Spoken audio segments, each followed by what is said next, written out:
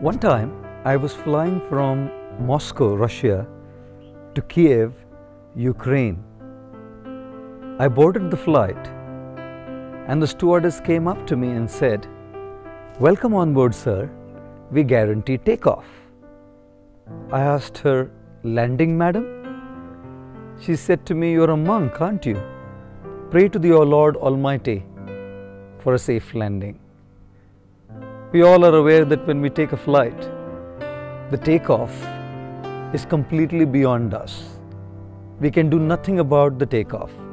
It's completely in the hands of the pilot. And when it comes to landing, even the landing is completely beyond our control. It's in the hands of the pilot. Many times when I fly, and there is a very smooth landing where we don't even come to know that the plane has landed. People give an ovation, a loud round of applause. I have not been an exception either. Of course, the only thing is we don't give a standing ovation because the seat belt sign is still on. Yes, ladies and gentlemen, the landing is also beyond our control. And what about the turbulence? The turbulence during the journey, during the flight, is also completely beyond us. The wind speed is beyond us. When the plane passes through the clouds and the entire plane becomes wobbly, it's not in our control. What is in our control during the flight is our choice. Some people choose to just go to sleep, yet others get completely drunk on alcohol. Some watch movies some keep munching something, yet others make new friends, talk to others, and network. Yes, what to do during that journey is in our control. In the journey of life as well, the takeoff, which is our birth, is completely beyond our control. We didn't choose our parents. We didn't choose which nation we were born in. We didn't choose which city we were born in. We didn't choose our socio-economic class we were born in. We didn't choose our looks. We didn't choose the religion we were born in. Our takeoff of the journey of life was completely beyond us. And the landing, death, even that will be completely beyond us. I've heard many times people telling me that they would just love to die by getting a massive heart attack and dropping dead, no trouble for them, no hospitalization, no tubes, no needles, no trouble caused to others. In one shot, go. Now, no matter how much we might wish that, it's just beyond us.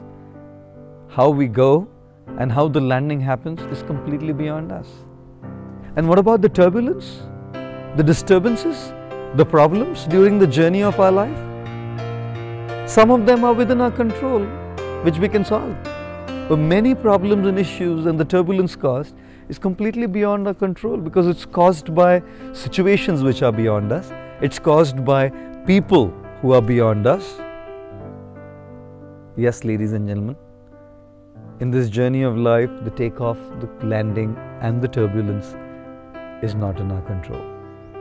What is in our control, however, is the choices we can make. And therefore, spirituality is about learning how to make those right choices. When we learn to make those right choices, we learn to live a transformed, happy, fulfilled life despite all the turbulence and problems that are going on around us.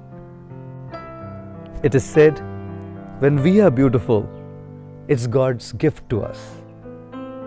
When we live our life beautiful, it is our gift to God. Therefore, being a male is a matter of birth. Being a man is a matter of age. Being a gentleman is a matter of choice. And as a corollary to that, being a female is a matter of birth. Being a woman is a matter of age. Being a gentlewoman is a matter of choice. Let us all take to spiritual wisdom, learn to make the right choices which are within our control as our gift to God and thus live our lives as thorough and perfect, ladies and gentlemen. Thank you.